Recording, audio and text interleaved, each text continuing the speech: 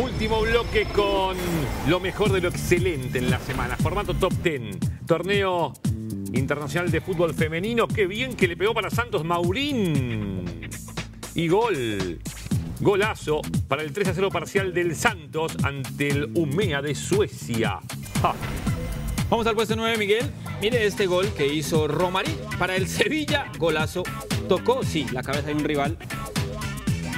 Y fue un muy buen gol para el partido frente al Málaga que terminó 3 a 0. ¿Por qué? Porque Luis Fabiano, Fabiano, como le dice Miguel Simón, me gusta que le diga así, Alex, San Pablo y Milan. Sevilla 3, el Málaga del ingeniero Pellegrini 0.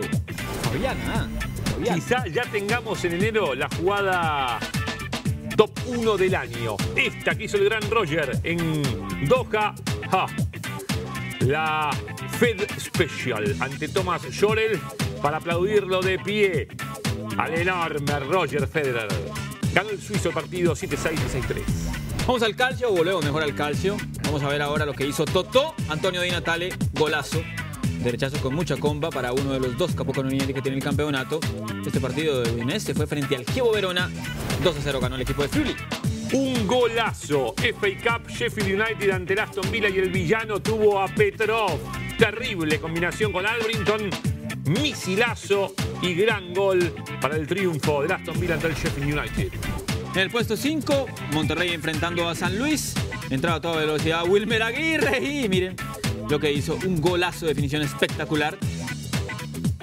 Pasa desde el piso y Juan Carlos Medina hizo esta definición muy linda. Alcanzar el pincel a Leo Messi. Pinturita del balón de oro. El zurdo mejorando también en el remate de tiros libres. Lo dejó claro. Miraran su vía. Y sí, así no se puede. Y en el puesto 3 llegamos al podio, Miguel, y esto en honor al Ángel de Madrid, ¿no? Y en la Casa Blanca. Pero un ex Rosario Central y River, el surgido en el conjunto canalla, Marco Rubén, en ese momento era el 2 a 1 para un Villarreal que hizo un gran primer tiempo en Santiago Bernabéu, pasado fin de semana, terminó perdiendo 4-2, eximia definición del delantero argentino. De taquito nos metemos en el puesto número 2. Premier League, Manchester United con el Chicharito Hernández. Ante el Stoke City, golazo del mexicano. Un taco. No es el único para este puesto 2 porque Carlos Tevez en FA Cup, en el duro partido entre el City y Leicester, también concretaba por esa vía y festejaba el equipo de Roberto Mancini con su goleador, el Apache Carlos Tevez de taco. Y en el puesto 1 muchas veces sorprenden, se sorprenden los de afuera, pero los de adentro.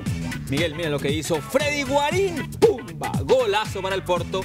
No jugó Falcao García, pero sí lo hizo Freddy Guarín, hizo dos goles. Porto le ganó 4-1 Marítimo. Gran gol del ex Saint-Étienne. También Boca y Envigado para que sea el puesto 1. Sí, increíble lo que hizo el nacido en Puerto Boyacá.